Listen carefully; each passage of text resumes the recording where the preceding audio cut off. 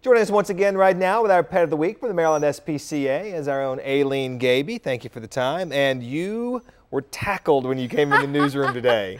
Well, rightfully so. This is probably one of the cutest puppies we've ever seen. This is Tinker, who's up for adoption at the Maryland SPCA. Look at that face. Yellow lab, adorable, great. I mean, we say this about all the dogs from the SPCA. Great personality. He kind of stands out a little bit though. You know, he's got a, a, fun personality. I think puppies can be a handful, and, and he'll have a lot of energy, but he's really happy, he loves people, he likes to play. He's a great puppy. Okay, this is a, this is a yellow lab. I mean, this appears to be a purebred. I'm talking about you, big guy.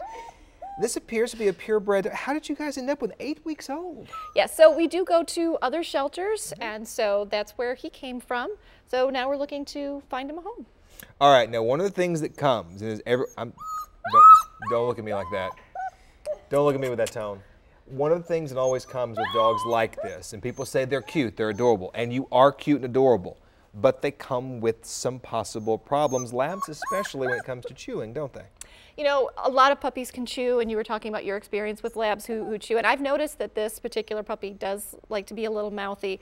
So we were practicing this on the car ride up, so he would chew a little bit on my hand, and I would make a funny noise.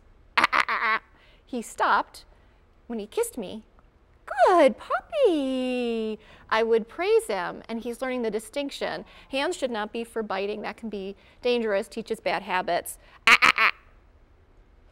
There you go. Watch this. I thought I was going to let get, Good there you kisses. go. There's the kiss. And then make sure he has lots and lots of toys. One of the things often associated with Labradors, they're hunting dogs. They're good outdoor dogs, often companions for those who enjoy, enjoy going out, experiencing the outdoors. But you said it a little bit better. You said they like to work a lot of dogs have been bred for a particular purpose and dogs like to work. So if you can give them a job, and it doesn't have to be, not everybody's going to hunt, but you can certainly have him search for things mm -hmm. which would mimic that. So you can hide maybe his favorite toy or some treats and get him working and feeling like he has a purpose, expend some of his energy so he doesn't end up chewing your shoes. And of course, at the end of the day, you're the one who's asleep in the floor and he's the one over there still with all the energy in the world. An adorable pup. Before we go though, we had a, a success story last week with Dallas. Oh, yes, of course. Really funny hairdo. Uh, found a good home. We're very happy thanks to ABC2 News. All right, this is Tinker, 410-235-8826. If you think he might be just right for you, we're, I guess Lynette's staying here off camera, Lauren's coming here off camera. Here we go. Tinker will be tackled once again. Aileen, thank you for the time. thank you.